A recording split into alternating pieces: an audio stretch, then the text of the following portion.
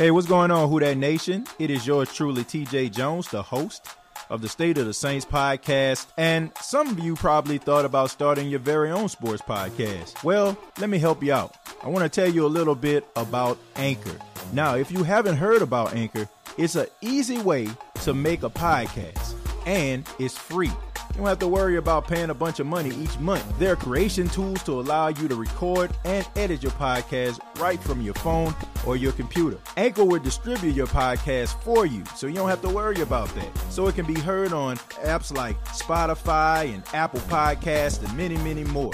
You can make money from your podcast with no minimum listenership. So go to anchorfm.com and start your very own podcast today. It's everything you need to make a podcast in one place.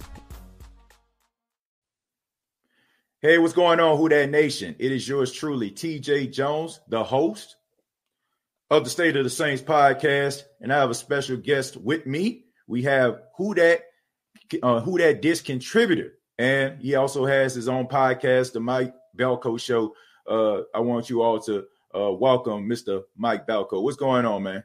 What's up, guys? How we doing today? Happy to be on the show today. Yeah, man. Appreciate your time, man. Thank you so much for spending your Friday morning, man. I know it early, man, you know. But no worries, no worries. Yeah, so I appreciate you uh, you know, checking in with us, man, to talk New Orleans Saints. I'm excited Always. about this, man. Uh man, and I'm also excited about training camp, Mike. I'm excited about, you know, some of the storylines that are going on in training camp, uh, especially the wide receiver position the Saints have a lot of uh, good wide receivers on the team, a lot of young talent.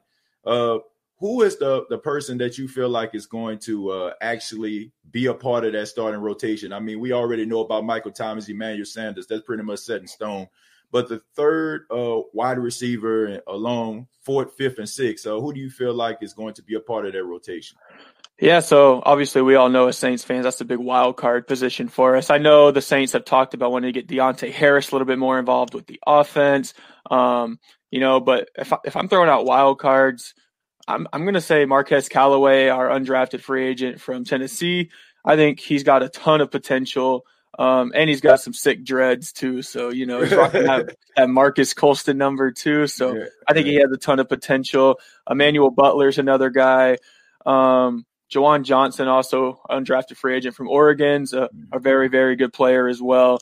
Um, but Tre'Quan Smith is obviously, I think, going to be that number three guy. He's going to have a lot of mismatches. He's usually the number three, but he kind of fits in that number two role. He just has to really just kind of step up and embrace, you know, maybe not just make one great catch a game. Let's maybe make like three or four great catches a game. Right, right. Especially when there's going to be linebackers on him like nine times out of 10.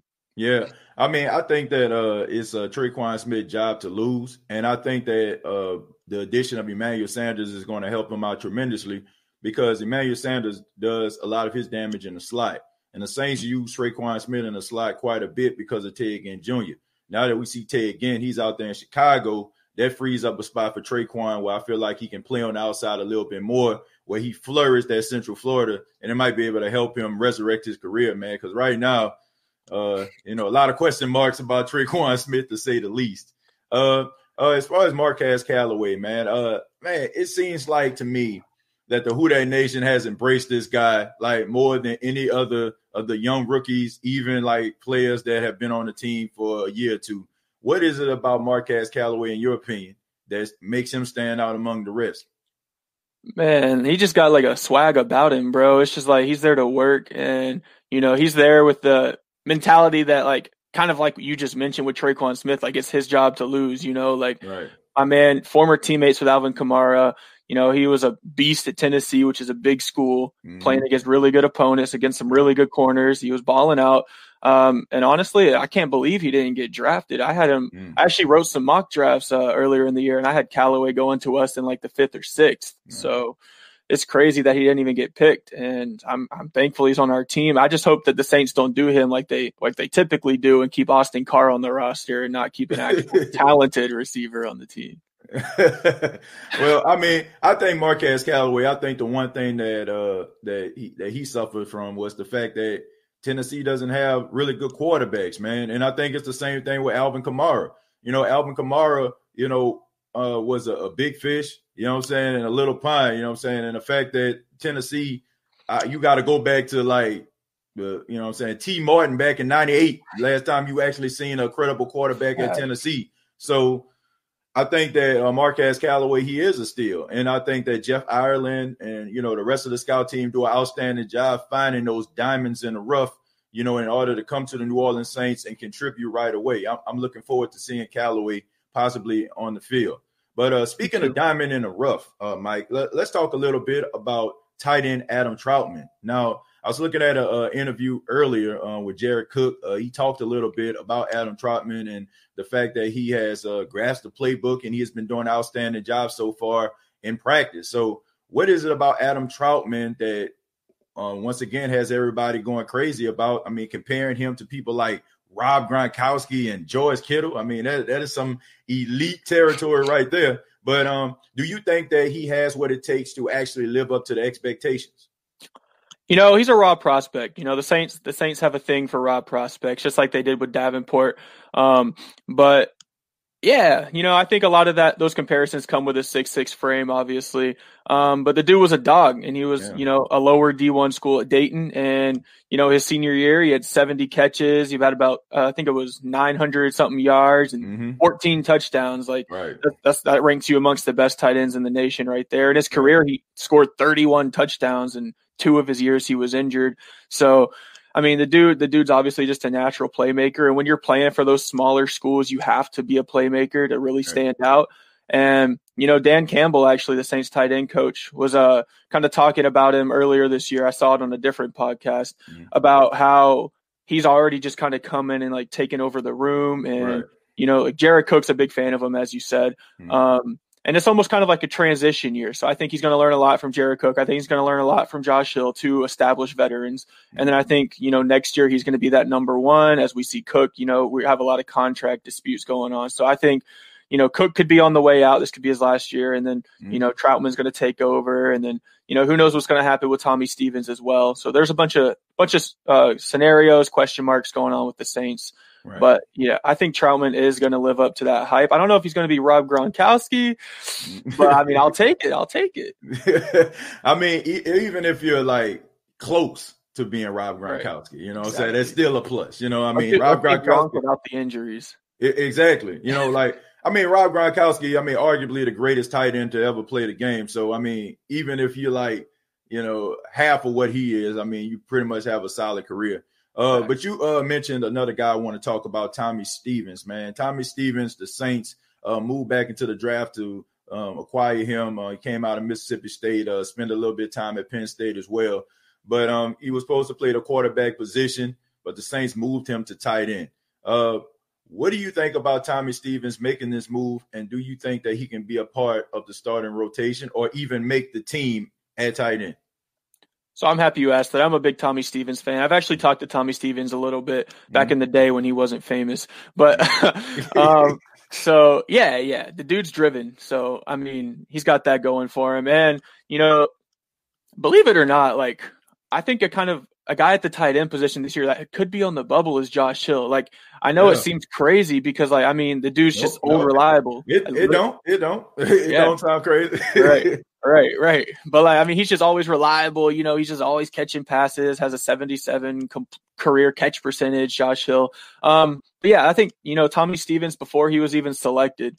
Um, you know, before the draft even started, the Saints were in contact with him and they asked him to send videos of him running routes, blocking, you know, doing like receiver running back type things. So they they kind of envisioned for him to be like kind of a Taysom Hill. So mm-hmm. this doesn't really come as a surprise to me that they're moving him to tight end. Um, it is kind of a surprise that they're actually like permanently switching his position to tight end and not more of less like a quarterback hybrid like Taysom Hill. But I think he can make the switch. And, you know, if Josh Hill ends up getting cut and they want to keep Tommy Stevens, which honestly wouldn't be a bad idea. Um, you know, having a guy who could play quarterback, running back, receiver, tight end, you know, that's not a bad idea. Um, yeah, on the roster, I think I think that'd be a smart smart move for them. Yeah, I think it'd be a smart move as well. Um, I think that by um, adding him to the team, a lot of people were comparing him to the skill set of what Taysom Hill actually had. So I think that this is just me um, just guessing. I'm feeling like the New Orleans Saints want to uh, transition uh, Taysom Hill to a more of a quarterback role. um, to get him acclimated, you know, say to the offense exactly. and being a quarterback. Not to say that he's going to be the successor to Drew Brees. I, I talked about that on the last uh, podcast.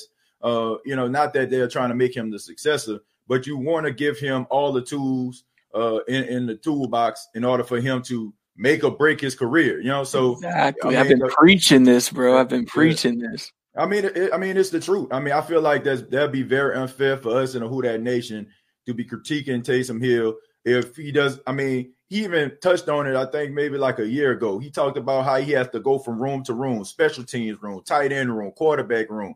So for him being in one room, allowing him to absorb the offense and get more acclimated to the playbook, I think it'll be beneficial. And you adding somebody like Tommy Stevens with a similar skill set is going to help out uh, Taysom Hill tremendously at the quarterback position. Uh, right. but, but, speaking of quarterback positions, uh, Jameis Winston uh, was acquired in the offseason by the New Orleans Saints. Uh, it's no uh, surprise right now, over 5,000 yards, 30 touchdowns, 30 interceptions. Uh, he comes to the New Orleans Saints, a lot of unanswered questions and a lot of, in my opinion, untapped potential. Uh, do you think that the Saints uh, will be able to use Jameis Winston this season? And if so, do you feel like they could resurrect his career? That's a tough one, man. So obviously you can't predict injuries, you can't predict who's going to get COVID, who's not, stuff like that. Um, so it's hard to say whether we're actually going to use him or not and like you mentioned, like if Drew Brees were to go down, if Drew Brees were to get COVID, if Drew Brees were to, you know, something happens to Drew Brees, he can't play a week. Are they going to go with Taysom or are they going to go with Jameis? That's a right. tough one. I think the nod does go to Jameis simply because he has been an established quarterback. He did right. lead the NFL in passing yards. He was the number one overall pick.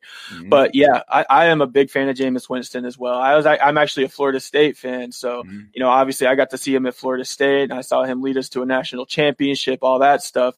And yeah, so you know, obviously having to go against him in Tampa Bay hasn't been the greatest, greatest, you know, little stretch for him, but uh, you know, he does have a ton of potential. He does have all the tangibles it takes to to be a starting quarterback in the NFL. And he turned down, you know, offers to make more money just to learn under Drew Brees and Sean Payton. It goes to show that like he is genuinely concerned about like his career. He wants to really genuinely make a change for the better. And it could be another Teddy Bridgewater situation where, you know, he gets to play a couple games this year and goes off and makes a bunch of money. Or it could be a he doesn't play he and he re-signs with the Saints for a little bit less, and you know Drew Brees hangs up the cleats, and then we have a nice battle between Taysom and Jameis, and right. you know I think I think I give Jameis the nod there. Yeah, look, I think one thing that uh, kind of hurt Jameis Winston was the fact throughout his entire career, for the exception of maybe like his first year, they really didn't have a running game out there in Tampa. You know, you had Doug Martin, but I mean he was in and out of the lineup. Uh, there was a plug and place type mentality when it came to the running back position, not too much stability. And not to mention Bruce Arians, who became the head coach. I mean, this guy likes to throw the ball all over the place, bombs away type offense. And uh, I, I, feel like uh, every quarterback that has ever played with Bruce Arians has always struggled when it comes to the interceptions. I mean, you can even uh, talk about Andrew Luck, man. You know, when um, Chuck Pagano went down and Bruce Arians actually came in and he was the offensive coordinator and head coach.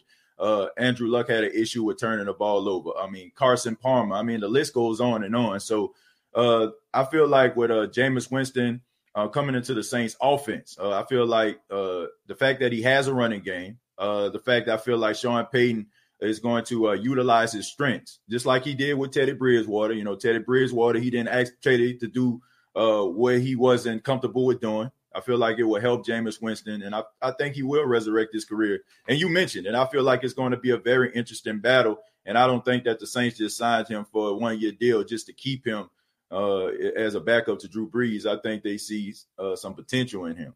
Uh, but but let's, let's talk a little bit about the offensive line. Um, the offensive line, uh, there's some new faces. Uh, we know about Cesar Ruiz, the the first round draft pick out of Michigan, uh, and we know about Erik McCoy, who did a okay job playing center last season uh, once Max Unger decided to hang it up. But there's a, a position battle going on uh, between Cesar Ruiz and Erik McCoy. Uh, do you feel like Cesar Ruiz will start as the center of the New Orleans Saints in his rookie season, or do you feel like he is going to be a guard and in his second season the Saints are going to transition him to center? Yeah, so he's going to be a center. Um, and I'm pretty sure Sean Payton already kind of mentioned that, or at the offensive line. So one of the coaches already kind of mentioned that, I believe. Mm-hmm. Um, but yeah, I think yeah they they have all intentions of starting Cesar Ruiz at center, I believe at least. Um, and then they're transitioning Erik McCoy to guard. Actually, I believe Erik McCoy on the Saints roster, if I'm not mistaken, is already listed as a guard. Um, so I believe they already moved him over there. Mm-hmm. Um, but I think McCoy is going to do much better at guard than he did at center. Right. And I think Ruiz is going to be absolutely phenomenal center to have for Drew Brees' final season. I think he had like the highest, like one of the highest graded like scores ever coming out of college at Michigan right. and all of this, all these like accolades he had and didn't even, I think he only gave up like one sack in his college career. Dude's a genius. So I'm, you know, so is Drew Brees. So I think they're gonna they're, they're gonna click well, and I think he's gonna be a great center that the Saints are gonna have for years. Yeah, um, this is a position, and um, I had uh, Zach Strief on the show a couple days ago, and um, he was talking a little bit about uh the Saints uh trying to uh you know find uh that next Max Unger, you know, and uh and I think Cesar Ruiz is the answer. I mean, I, I think he only had like two flags in his entire college career, and I think was yeah. a legal man downfield for both of them. So I mean, man's just anxious. Yeah, I mean that tells you that tells you everything that you need to know about this guy, you know. And I, am I'm, I'm looking forward to seeing him, and I think that there's finally going to be uh you know some true stability, even though you know Erik McCoy did a good job, but some true stability um at the center position. Uh, finally, I want to ask you, man. We, we're talking about the offensive line, and of course, you know their job is to protect not just the quarterback, but also run block. And um, something that has been an issue with the New Orleans Saints, and I, I know you hear it all the time, is the fact that we feel like the Saints need to run the football. Okay, they need to commit a little bit more to the run. So Alvin Kamara, you know, he had injuries last season. Um, he came out and, and said, you know, he had, I mean, he was injured um, after the Jacksonville game. Latavius Murray came in, uh, played two games and started, went over 100 yards in both of those games. And then when Alvin Kamara came back, we didn't see Latavius Murray and we did not really see a true commitment to the running game. In 2020, Mike, do you feel like the Saints are going to be more committed to the run, being that it Drew Brees is possibly in his last season? Yeah, I, I, I think they will if you know Erik McCoy can make that transition to guard, and if Cesar Ruiz ends up being as good as he's hyped up to be, mm-hmm. I do think so. Yeah, and I do think they need to give Latavius Murray the ball more. I like I like using Kamara the way we use him in like that flex hybrid kind of role. Like it seems like it's it's crazy. Like everybody on the Saints seems to be a flex hybrid kind of guy. Right. But you know, I like the way you know Alvin Kamara, 81 catches in his first three years, every single year, 81, 81, 81. Mm-hmm. So you know, Pro Bowler three years in a row. I like the fact that he's like our receiving back, kind of like a Darren Sproles or a Reggie Bush. You know, bounce it around the outside type of guy. But I want Latavius Murray, man. Like Latavius Murray still managed to get like almost 700 rushing yards, and he ran the ball like 120 times. Yeah. That's insane. Yeah. That is insane, bro. Yeah. Like this dude, this dude's like our pure running back. Like I think honestly, if he were to play a full season, I think he would put up better numbers than like Mark Ingram did with us. Yeah. And it's insane. He just fits so well with our offense, and he's just such a you know he's like six four, impossible to tackle. Like, right. but yeah, I think you know when you have two really good running backs, and then you also have like you know a Taysom Hill you can throw back there, or you have like a a Tony Jones Jr., who's a undrafted free agent who's looking to make the roster as well. Right. Who's he's literally a mix between Latavius Murray and Alvin Kamara. I think he's. I, am sure we'll touch on it a little bit later, but I think you know he could make the roster mm-hmm. coming out of the backfield. But and then Ty Montgomery now, man, like yep. you know you're adding all these all these studs in the backfield. There's no reason why you shouldn't commit to the run. Yeah, I mean, and not to mention Dwayne Washington too, man. Right. Another guy who who comes in. I mean, you can say that it's a garbage town and mop up duty, but I mean, this guy still uh, contributes. Um, He's got some I, juice. I, yep. And not to mention back in 2018, you know, when he actually went over 100 yards against Carolina. Now I know mm-hmm. we got blew out, but I mean, he was the bright spot uh, in that game. You know, and he, mm-hmm. and, I, and and keep in mind, I mean, he was running behind an offensive line that the Saints signed off the street. So I, I think that uh, I think they should have more of a commitment to the run. And you mentioned uh, Latavius Murray, Mike. I, I, I, said last night on a podcast, I said Latavius Murray is like they have that saying, uh, he he's the bridesmaid, but he's never been a bride. I right. mean, every everywhere that he went, he was always good, but teams, coaches, organizations did not want to commit to him. Out in Oakland, I mean, he went over a thousand yards, had his best uh, season, uh, probably in the best career, you know, I'm saying career stats in right. Oakland. He gets signed by Minnesota. You know, Minnesota decides to go get Dalvin Cook. I mean, it just seems to me like Latavius Murray. I don't know what it is about him. I don't know why teams don't want to commit to him, but he always leaves his his print everywhere that he goes. And I, I feel like when I look at the way that he runs the football, the way that the New Orleans Saints could possibly use him. I mean, this guy went over 100 yards against the Chicago Bears defense. And I mm-hmm. understand Akiem Hicks wasn't playing at the time. I get it. But Khalil Mack was. Yeah, uh, yeah. And they had Roquan Smith out there and mm-hmm. all these other players, you know what I'm saying, that were out there. I mean, Khalil Mack was out there. So let's not make it seem like, you know what I'm saying, that wasn't impressive. So right. I like him a lot, man. But uh, but Mike, thank you so much for being part of the State of the Saints podcast. And yeah. before you get up out of here, man, let everybody know how they can get in touch with you. Yeah, so I'm on Twitter, Instagram, all that good stuff. Twitter is at Michael Balko Jr. And then Instagram, it's at Michael.Balko. Y'all can hit me up anytime, any Saints questions. I'm always open to do podcasts, all this good stuff. And then also, you know, tune into whodatdish.com. I'm posting articles all the time covering the Saints. So yeah, State of the Saints podcast on the way up, though, bro. You've got a good man. thing going here, man. man, I appreciate it, man. Um, you know, but I mean, it's for for people like yourself, you know, that's uh, you know, nice enough to come and be a part of the show, and also the Who Dat Nation, man. I mean, I, I can't take much credit for that, man. It's all because of you guys, and I appreciate it, man. And we're looking forward to uh, seeing some of your contributions to the Who from the Who Dat Dish, and also, man, uh, checking out your podcast too on Anchor FM, uh, the yeah, Mike Balko Show, man. So uh, we're looking forward to it. And thank you so much for your time, man. Yeah, no worries. Have a good one, bro. All right, you take care. This is the State of the Saints podcast. Michael Balko, y'all. Y'all take it easy. All right. Who that?